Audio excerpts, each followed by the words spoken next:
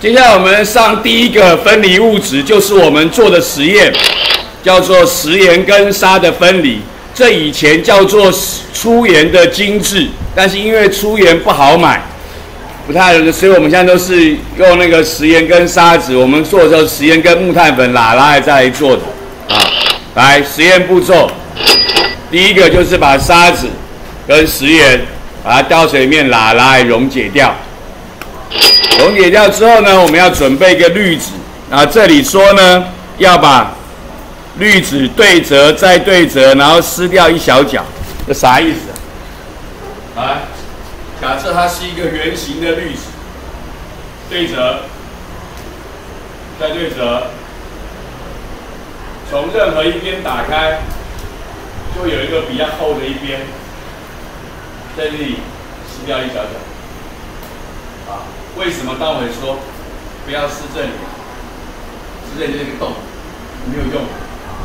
来，对折，对折，再对折，从任何一边打开，旁边这边有多一小块，撕掉一小角，就是它的意思。好，为什么当会会告诉你？为什么当会要告诉你？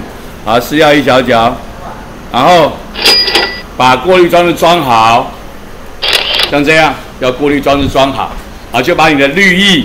倒下去，然后呢，就有东西会过滤，经过滤纸滤出来，然后没有溶解的就会被挡在滤纸上面，这样子我就可以把木炭粉或者沙粒跟我的盐巴分开来了。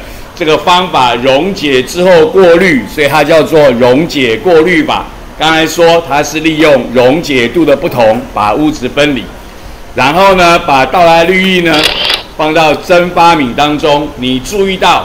刚才跟现在，它倒的时候都是顺着波棒倒的，对不对？这我们教过，顺着波棒倒，免得它到处乱喷、到处乱溅，倒下去，然后放到火上去煮。煮的时候水就会蒸发掉，盐巴会在底下产生结晶，所以呢，这个方法叫做蒸发结晶法，这方法叫蒸发结晶法。那我们前面说了，蒸发结晶法是用什么不同？沸点，利用沸点的不同把物质分离，好，这样，然后就得到你的盐巴，你就可以欣赏一下，看看它里的盐巴的情况啦啦啦啦啊之类的，这样的实验就做完了，就是把盐巴跟水、盐巴跟沙子就分开来了，OK。那有关于这个实验有几件事情，第一，为什么滤纸要撕掉一小角？因为要它能够贴紧漏斗壁，我们要避免翘起，因为它有一边比较厚，有一边比较薄，容易会歪歪的。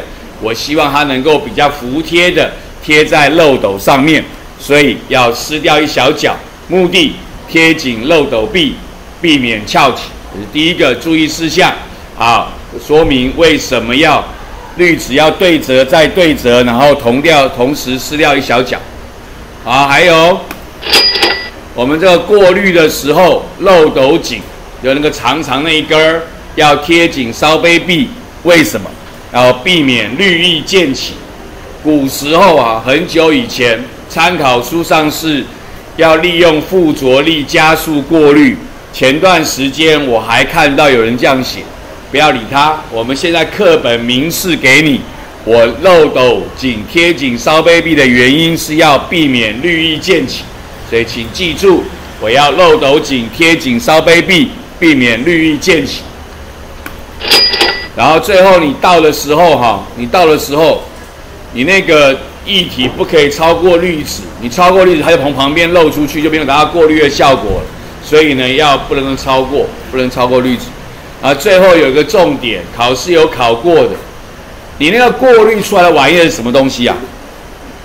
你溶解过滤法过滤出来是什么东西？食盐水对不对？